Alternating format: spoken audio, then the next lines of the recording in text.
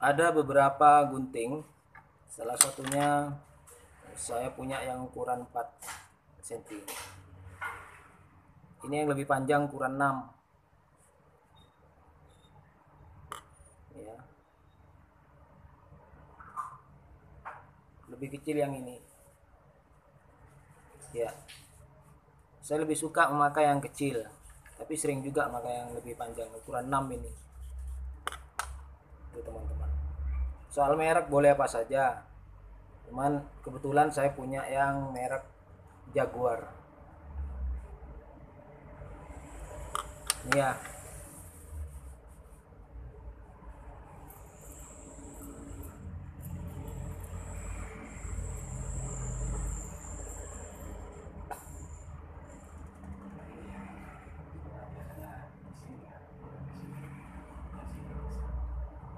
jadi bisa memainkannya dengan cara seperti ini untuk mengamankan mengamankan gunting.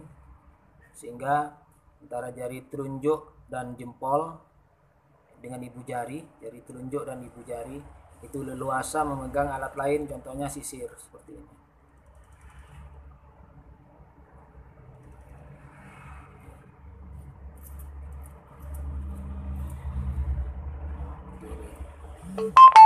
Posisinya ada di belakang. Ya di sini. Ya jadi ini leluasa untuk memegang alat yang lain. Seperti sisir atau yang lainnya. Misalnya megang jepit. Atau megang jepit pun leluasa untuk mengamankan seperti ini. Ini istilah saya mengamankan. Jadi supaya aman. Gunting diamankan dengan dilipat ke belakang. Ya teman-teman bisa latihan di rumah seperti ini diulang-ulang sampai terbiasa sampai mampu melakukan tanpa dipikir. Ya. Nah seperti itu. Jadi yang ini leluasa. Yang sederhana ya seperti ini megangnya. Tetap seperti ini. Ini yang sederhana. Saya sering menggunakan yang seperti ini jadi sama antara jari telunjuk dan jempol juga sama-sama leluasa memainkan sisir atau ketika kita memainkan jepit. Jadi ini sama-sama enak keduanya yang sederhana seperti ini.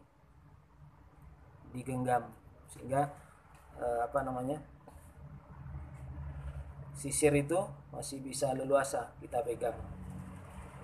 Jadi jadi dua teknik yang saya sebutkan tadi itu sama-sama melepaskan ibu jari. Jadi ibu jari tidak selamanya berada di lubang yang kedua ini.